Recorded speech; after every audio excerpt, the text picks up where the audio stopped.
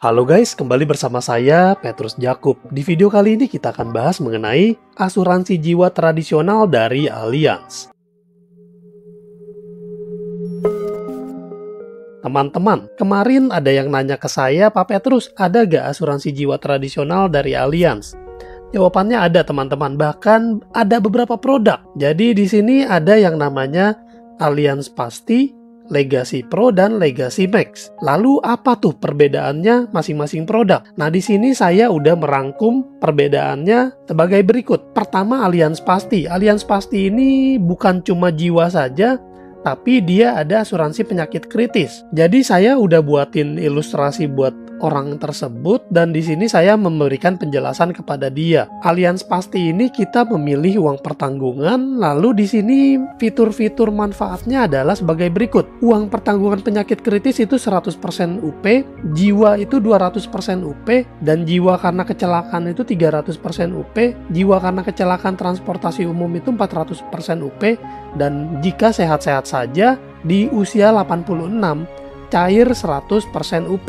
Jadi kadang orang berkata, Pak Petrus kok per preminya tinggi sekali. Sebenarnya bukan preminya tinggi teman-teman, tapi manfaatnya bejibun. Dan pilihan masa bayar pun itu fleksibel ya. Ada 5, 10, 15, 20 tahun dan ada juga bahkan sampai usia 85 tahun. Kalau kita nggak mau uang pertanggungan penyakit kritisnya, maka kita bisa pilih Legacy Pro. Ini adalah asuransi jiwa whole life. Fiturnya sebagai berikut cover sampai dengan usia 100 tahun, tersedia manfaat pembebasan premi jika pembayar sakit kritis. Oh, saya lupa tambahkan, di Allianz Pasti ini juga bisa nih ditambahkan fitur pembebasan premi jika ter diagnosa penyakit kritis. Dan di Legacy Pro tersedia manfaat booster uang pertanggungan plus 50% di usia 76 tahun ke atas. Jadi jika kita ambil uang pertanggungan 1 miliar pada saat mencapai usia 76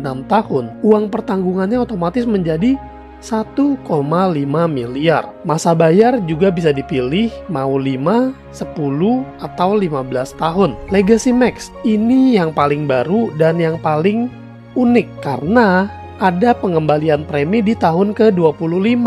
Jadi hitung-hitung gratis teman-teman. Kita sudah bayar premi, lalu di tahun ke-25 premi dikembalikan 100%.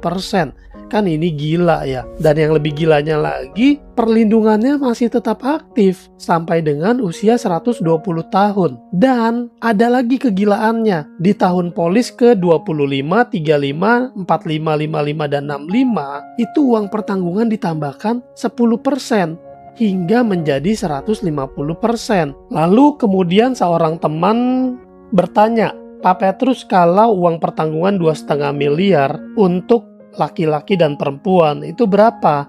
Lalu saya minta tanggal lahirnya dan ini saya coba buatkan preminya. Jadi ini adalah produk Legacy Max nih yang dua di atas ini nih. Lalu dia coba compare dengan produk lain dari Ijo nih dan ternyata secara premi beda. Legacy Max ini katanya lebih tinggi. Saya bilang ya iyalah jelas lah. Kenapa? Karena fiturnya berbeda. Saya nggak tahu fitur di Manulife ini seperti apa, tapi saya berprinsip adalah ada harga ada rupa teman-teman. Kenapa preminya lebih tinggi?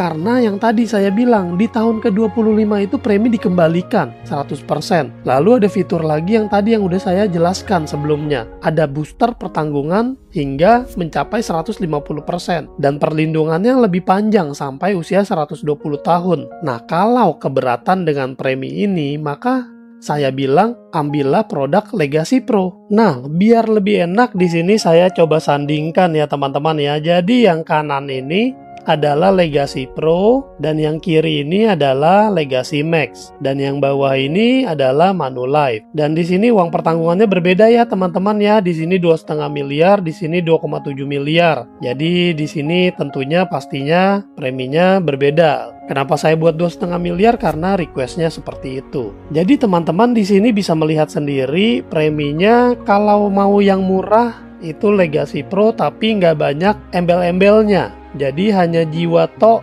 tanpa embel-embel uang kembali.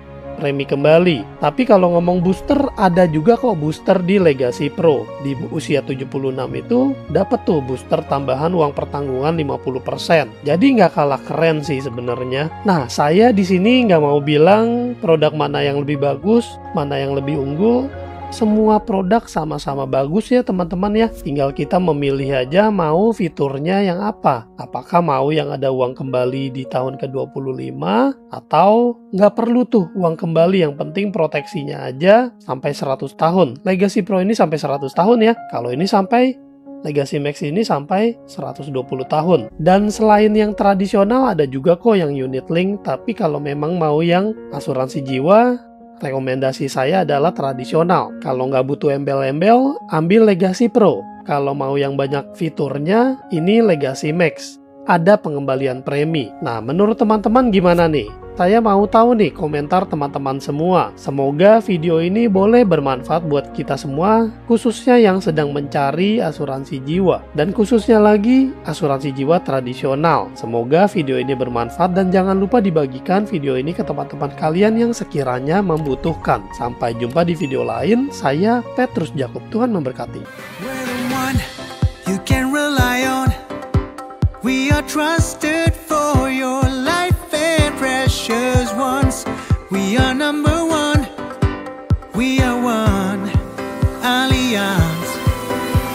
We